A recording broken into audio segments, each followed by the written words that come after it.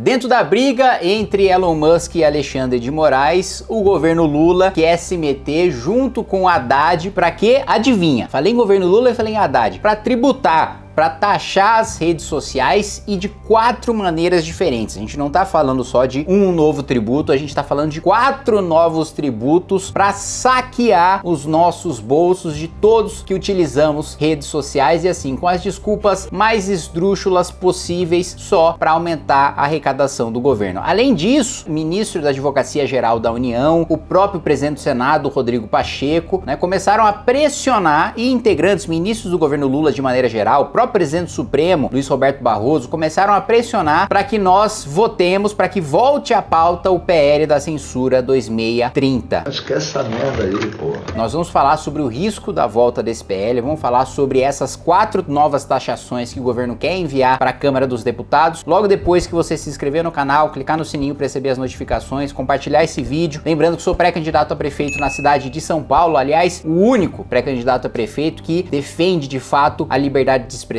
que dá a cara a tapa para enfrentar os abusos do Supremo Tribunal Federal, né, que censura opositores políticos para combater todos os abusos da extrema esquerda que quer nos calar e nos perseguir, não há nenhum outro pré-candidato à prefeitura de São Paulo que, ocupando o cargo de prefeito da maior cidade da América Latina, vá fazer esse enfrentamento, porque para além da questão da gestão municipal, que é fundamental, há também a importância política do cargo de prefeito de São Paulo. A posição política do prefeito de São Paulo é fundamental para pautar o debate nacional. O prefeito de São Paulo tem mais orçamento que todos os governadores, com exceção do governo do estado de São Paulo. Então, seu posicionamento é fundamental para o debate público. Além disso, eu vou pedir para você que queira receber as notícias, as informações, tanto a pré-candidatura à prefeitura, como também do mandato de deputado federal em primeira mão, aí uh, entre no nosso canal no WhatsApp. E se você quiser contribuir com o Movimento Brasil Livre, construindo o nosso caderno de teses, que é o livro amarelo do MBL, também vou pedir para você clicar no link e se inscrever. Pois muito bem, quatro novos tributos aí que o governo está querendo criar para punir as redes sociais ao mesmo tempo que eles atendem ao lobby da grande imprensa que quer tomar para si né, a publicidade que hoje é feita nas redes sociais, acabar com os pequenos anunciantes, acabar com a possibilidade de pequenos empresários, 99% do empresariado brasileiro, ao contrário do que a esquerda diz, né, que é um empresário malvadão, explorador, são micro e pequeno empresários. É o sujeito que contrata uma, duas, três, quatro, cinco pessoas, né? A gente está falando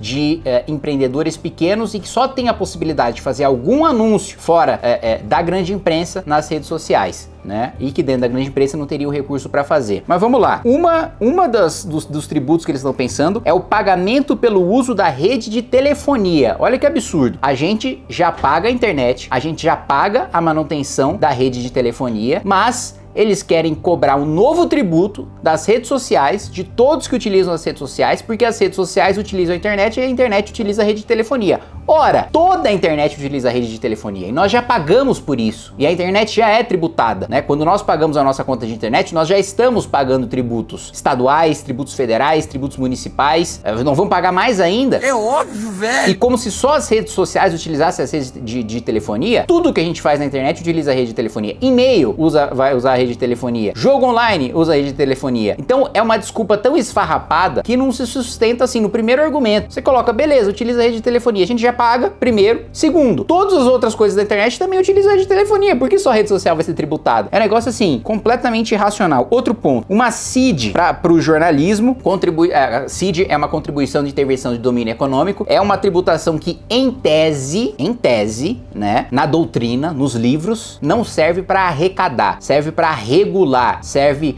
uh, ou para uh, ah, proteger né, uh, o mercado de alguma maneira, ou para você controlar né, o fluxo de, de determinada mercadoria. Né? A CID, em tese, não serve para arrecadar, serve para o governo regular, o governo controlar o mercado de alguma maneira. Mas é óbvio, é óbvio que na prática é utilizado para arrecadar, né? Basta ver o quanto que se arrecadava, né, com a CID combustíveis, né? Por exemplo, contribuição em cima dos combustíveis, em cima da gasolina, em cima do etanol etanol, né? Agora o que eles querem fazer? Colocar uma seed, né, na internet e repassar o dinheiro dessa seed para os veículos de comunicação. Ou seja, os veículos de comunicação que sempre nos fizeram de refém, que sempre tiveram esse oligopólio, né, esse domínio da informação, esse domínio da verdade, né? Tudo que aparecia no Jornal Nacional era tido como 100% verdade. E isso foi quebrado pelas redes sociais que democratizaram o acesso à informação, democratizaram o debate, permitiram que nós expuséssemos as mentiras que são veiculadas na Rede Globo e em outros veículos de imprensa. Agora veja só a justificativa, hein? Uma CID para o jornalismo em razão da degradação do ecossistema de informação causada pelas Big Techs. Ah.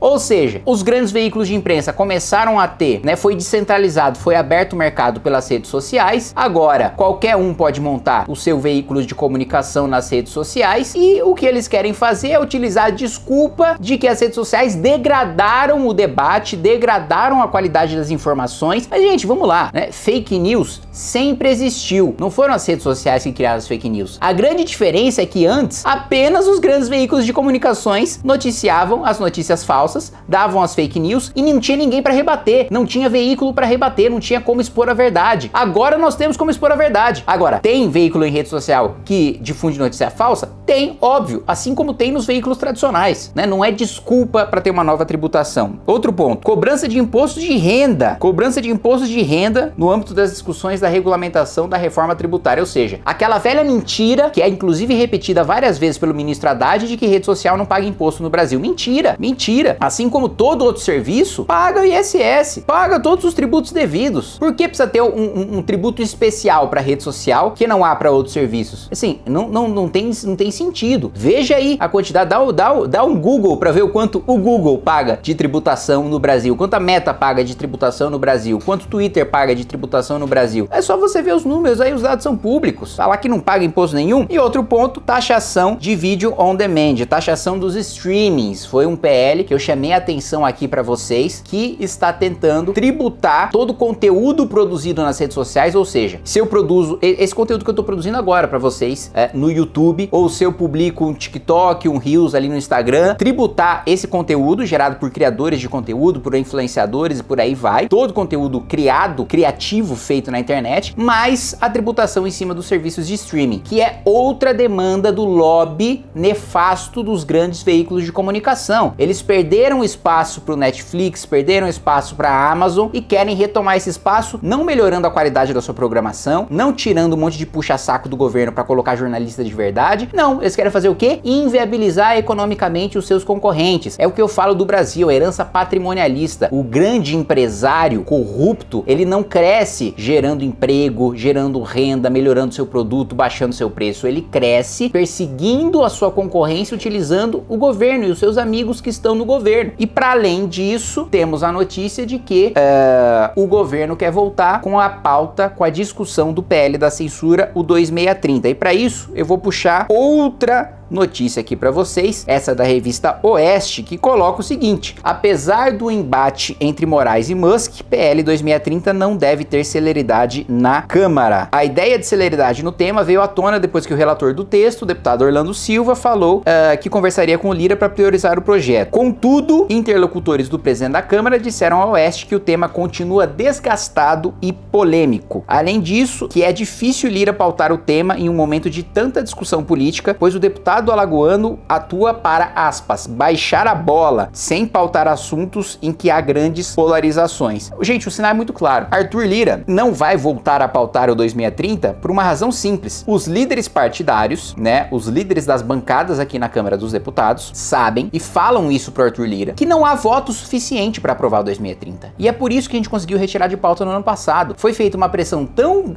gigantesca nas redes sociais que mesmo eles conseguindo maioria para aprovar a urgência do projeto, o que dá uma demonstração de que eles teriam votos para aprovar o mérito, nós pressionamos a ponto de os próprios deputados que votaram a urgência se arrependerem, terem, e aqui o que eu mais escuto é, apanhei que nem cachorro, né, de gente que é, votou a urgência do PL 2630. Então, os caras apanharam tanto, os caras sofreram tanto, que chegou no ponto que não tem, é insustentável voltar a pauta, é insustentável votar. E justamente por isso que nós conseguimos enterrar esse projeto. Portanto, sempre que algum ministro do governo ou deputado Orlando Silva voltarem com essa pauta do 2630, 2630, a reação em redes sociais tem que ser massiva, tem que ser forte, tem que ser contundente contra né, qualquer manifestação de pautar este PL e contra a falácia, a mentira de que rede social é terra sem lei. Tudo que está no Código Penal, se você cometer na internet, continua sendo crime. Né? Há o Marco Civil da internet que estabelece a, as regulamentações, só que não restringe a liberdade de expressão como eles querem. Né? Como o Marco Civil não atende aos desejos autoritários desse pessoal que quer nos calar, aí eles falam que a internet é terra sem lei, que a internet não tem regulamentação nenhuma. Tem lei sim, foi aprovado, foi amplamente discutida, muito diferente do 2630 que tentaram enfiar a goela abaixo no atropelo. Então a gente vai continuar vigilante e se esse projeto, por algum acaso, voltar para a pauta, mais uma vez eu reforço meu compromisso aqui com vocês, assim como a gente trabalhou na legislatura passada, assim como a gente trabalhou no ano passado, vamos continuar trabalhando para barrar o máximo possível esse projeto aqui na Câmara dos Deputados. E se você quiser contribuir com todo o trabalho de pressão em cima dos deputados para impedir que o PL 2630 volte à pauta e se ele voltar para pauta para a gente garantir que a maior parte dos votos sejam contrários, entre no grupo de WhatsApp que a gente fez especificamente para pressionar os deputados, que vai aparecer aqui na tela e na descrição do vídeo. Pessoal, é fundamental para você que acredita, que segue, que tem os nossos valores e princípios do Movimento Brasil Livre, que você entre no Clube MBL, não só para ter acesso a todas as vantagens do clube, mas principalmente para apoiar o grande projeto que nós temos para o nosso país e vocês sabem